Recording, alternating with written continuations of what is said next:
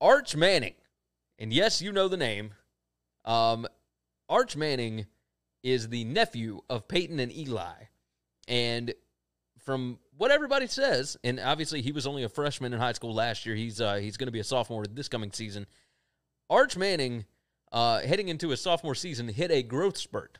Everybody thinks that he, uh, let's see. Oh, Michael's talking about Dalvin Cook. We'll get to that here momentarily. Uh, hang on, Michael. Don't leave. So Arch, uh, he's the son of Cooper Manning. He's the nephew of Peyton and Eli. Uh, everybody seems to think that he could be the best of all the Mannings.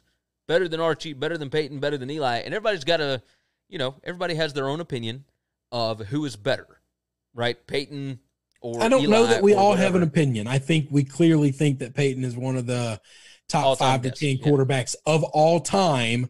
Eli was a great quarterback, probably a Hall of Famer, but not anywhere close to that level. There are a lot of And people. they like, were both way better than Archie. There are a lot of people like my father that still believes that Archie Manning hung. That's the moon. because your dad saw Archie when he was Yeah. a kid. Well, but he also Not watched kid, Peyton a- and a Eli. man. Like you know, he he thinks that Archie, given what all of these guys like Peyton played for a much better team. you can't give him what they have. The I reason understand. we think Arch is better than these two is because we just went over why high school kids are way more prepared than they used to be in college. So yeah, Arch is going to be a lot better in college than Peyton or Eli ever was. Yeah. Why?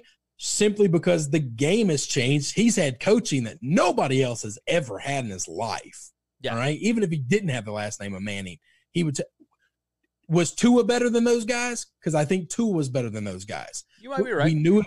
We knew it when he came into college at Alabama.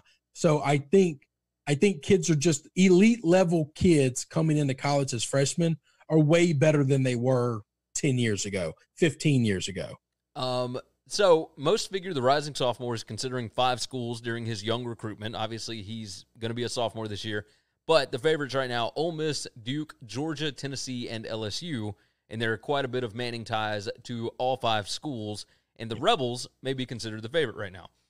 Um, Manning, who is listed at 6'1", 165 pounds, according to the Athletic's Jeff Duncan, uh, ahead of his sophomore season, he has hit a growth spurt.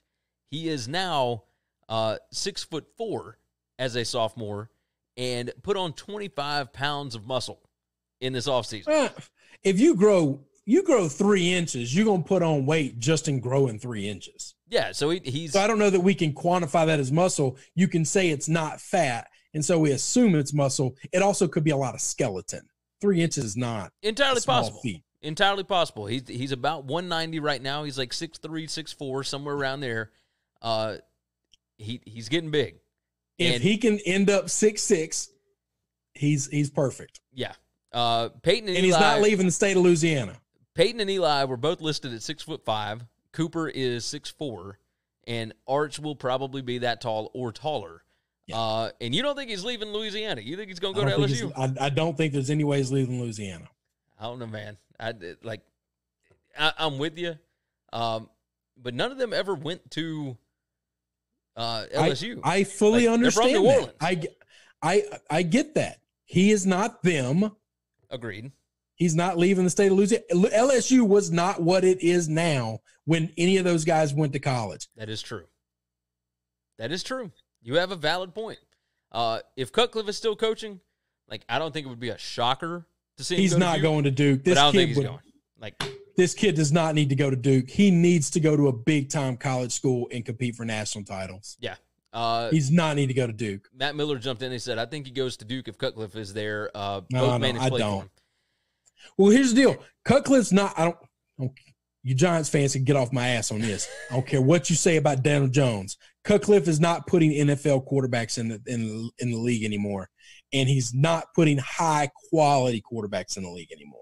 Yeah. You want to go to a college that's running modern systems because that's what they're running in the NFL now. Yes, hundred percent. Uh, Michael All said, the NFL offenses in the next two years are going to look like Kansas City. They're Yeah. all going to look like that. "Oh, 100 percent," or or the Rams. I mean, So if you're playing. David Cutcliffe's offense that hasn't changed in 15 years, it's a great offense, very good offense.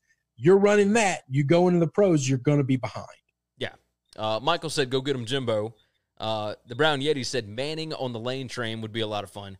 So this is the reason I don't think it's Oxford is is simply because what Lane did to Tennessee, I think is going to hurt his standings.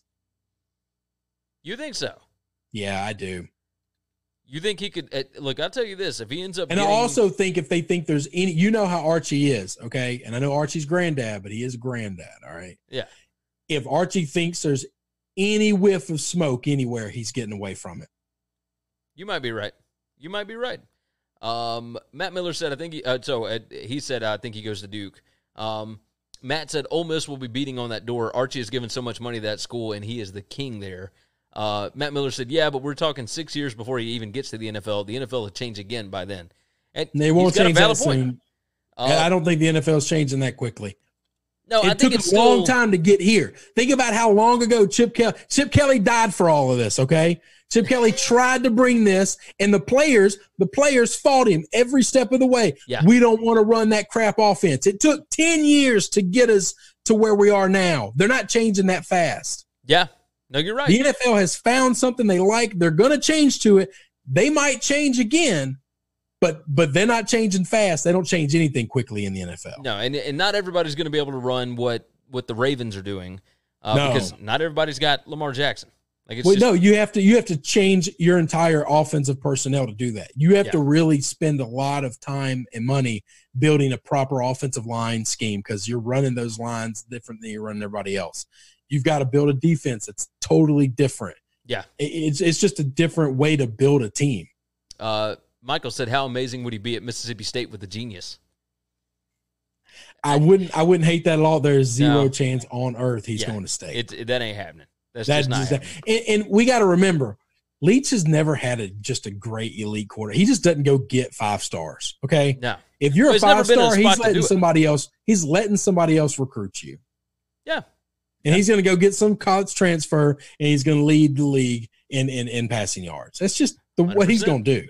yeah, and and the way that the league is shifting, the way that the NFL is shifting, uh, he's going to put guys in the NFL, and it's not always going to be the top guys or whatever, but he's going to put guys in the league. Period.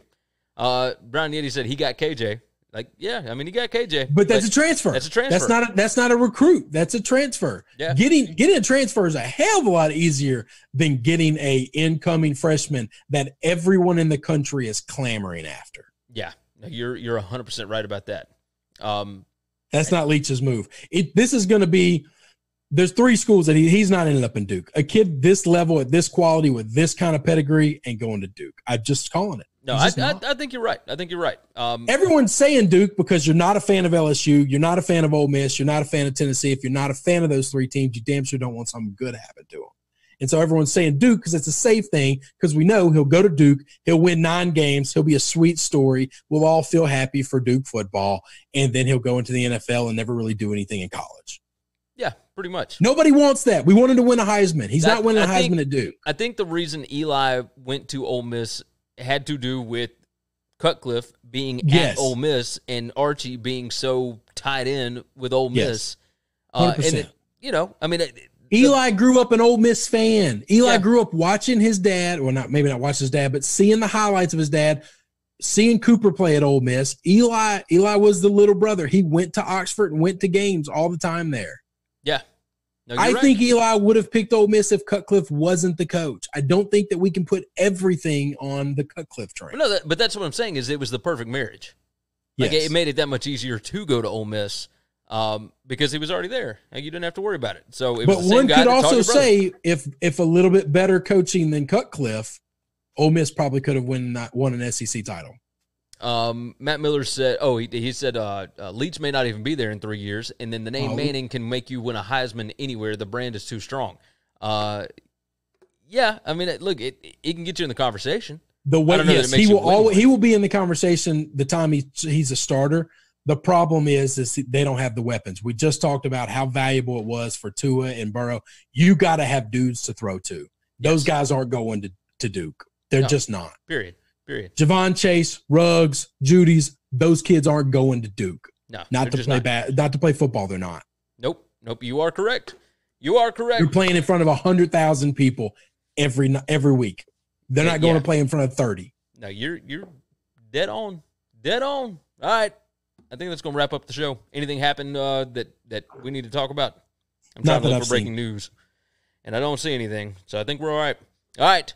You guys have been fantastic. All you guys in the chat Matt Miller, Michael, the Brown Yeti, Matt, uh, Damien, Joseph, etc. Everybody, you guys have been fantastic as always. We always appreciate you hopping in the chat. You drive the conversation, and uh, and we can't thank you enough for that. Everybody, make sure you are subscribed to the podcast. When things like yesterday go down, and uh, and the restream and whatever else decides to cut out, uh, the podcast is still going to be there. So make sure you subscribe. Make sure you leave a nice comment, a nice review on Apple Podcasts. Uh, five stars. We would appreciate that. Michael said, thanks, fellas. Yeah, thank you guys. Thank you guys. You make the show. It's a lot of fun to do this every day. And, uh, and, and we are supremely grateful and thankful for you guys that tune in. Uh, that's going to wrap it up. As always, go to winningcureseverything.com, go to tunicatravel.com, and take care of yourself. Take care of each other. We'll see uh, we'll see you again tomorrow. Thanks for checking out Winning Cures Everything. If you want to keep up with us, hit subscribe on YouTube or your favorite podcast app. Visit the website at winningcureseverything.com, or you can like us on Facebook or follow us at Winning Cures, at Gary WCE, or at Chris B. Giannini on Twitter. Share out the show, leave a nice review, and make sure to comment and tweet at us.